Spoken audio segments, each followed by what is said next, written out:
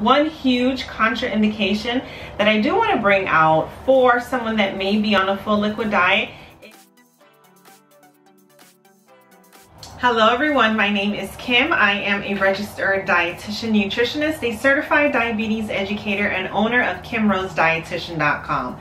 Welcome back to my YouTube channel. If you haven't already done so, please go ahead and subscribe to this channel. Subscription is free.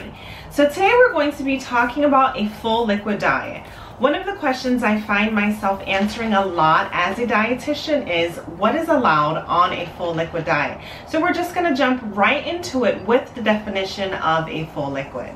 So a full liquid consists of foods that are liquid at body temperature that provides nourishment with little stimulation of the gastrointestinal tract. Full liquid diet provides approximately 1200 calories a day and 40 grams of protein. But of course, the calorie and protein intake can go up depending if any type of snacks are provided in between the meals. So the full liquid diet is a short-term diet and it's indicated for if anyone has an oral surgery or if they have problems chewing or swallowing or as a post-operative transitional diet. The foods that are allowed on this diet is everything that is on a clear liquid diet. So if you didn't see my video from last week on the foods that are allowed on a clear liquid diet, it is popping up now. Additional foods that are allowed on a full liquid diet includes milk products,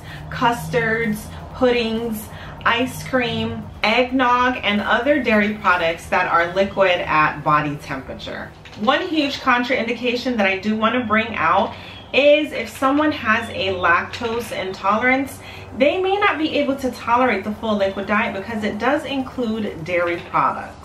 So guys, this is it. This is what is allowed on a full liquid therapeutic diet. If you have any questions or any comments, please feel free to go ahead and put them in my comment section below. As usual, thank you for watching. Remember to comment, like, and subscribe. Have a good day. Bye.